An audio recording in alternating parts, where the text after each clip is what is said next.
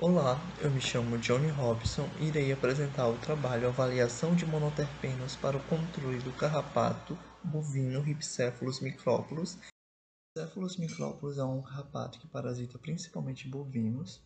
E o controle desse carrapato é realizado por meio da utilização de carrapaticidas químicos sintéticos. No entanto, o uso indiscriminado desses produtos tem levado a uma pressão seletiva de carrapatos resistentes além de promoverem a contaminação dos produtos da pecuária bovina.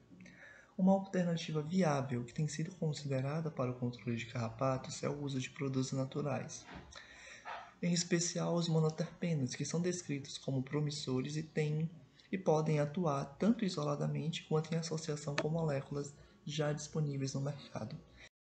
Dessa forma, considerando a problemática apresentada anteriormente, o presente trabalho tem como objetivo avaliar o efeito de monoterpenos sobre larvas do carrapato bovino Rhipicephalus micrópolis. Os carrapatos foram mantidos em bezerros da raça Girolando para bioensaio de imersão larval.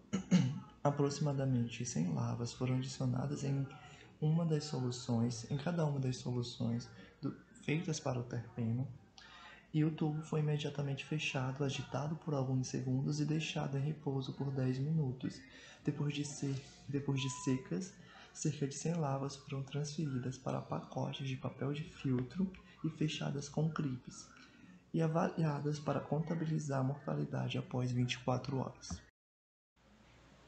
Através do método citado anteriormente, foi possível obter os seguintes resultados como mostra a tabela 1, onde é possível ver a concentração letal para 50% das lavas de ribicéfalos micrópolos.